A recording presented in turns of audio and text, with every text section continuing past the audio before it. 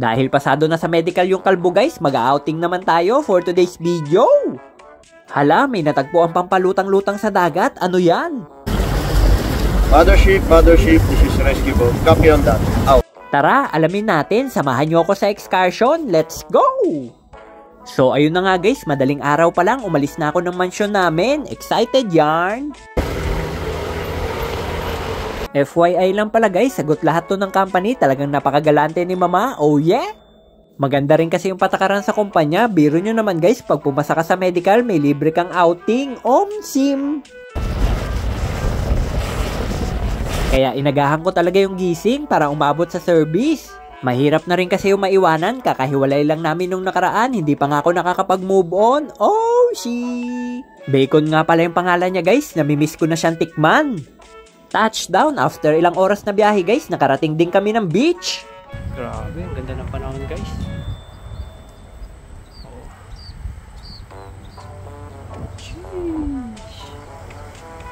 Eh, ang haba ng pila, talagang dinarayo, marami kasing activity dito. Katulad ng ladder climbing kung hindi ka takot sa mga heights. Kung hindi mo naman trip yung matataas, pwede ka rin mag-jogging-jogging. Yung iba naman, gustong pumatay ng apoy, edi firefighting. Ah, ito, ito matindi guys. Parang ninja oh. Pak. Bombay na.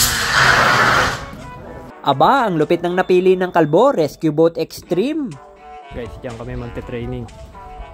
Pero bago tayo pumunta sa exciting part at ihulog yung alay, eh, shoutout muna natin yung mga nagpa-picture sa akin dito. Minsan lang naman maging celebrity si Kalbong Siman TV, kaya pagbigyan nyo na. Okay. Sino ba? Okay.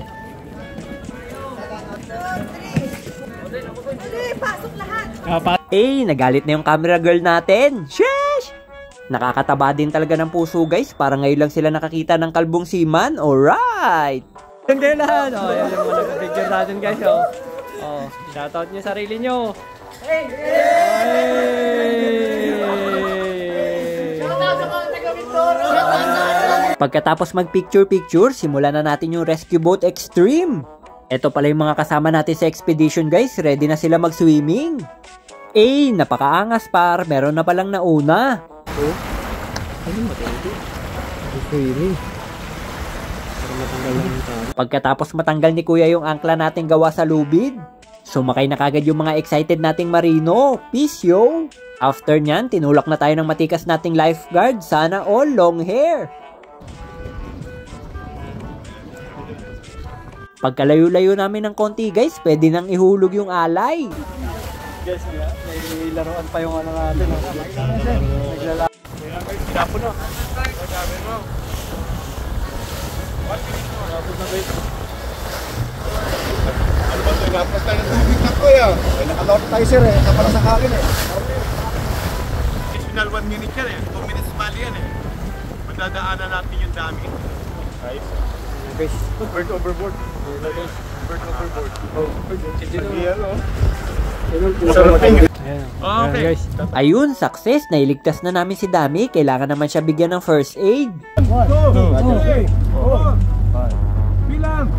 Six, seven, eight, nine, ten, 11, 12, 13, 14, 15, 16, 17, 18, 19, 20, 21, 22, 23, 24, 25, 26, 27, 28, 29, 30.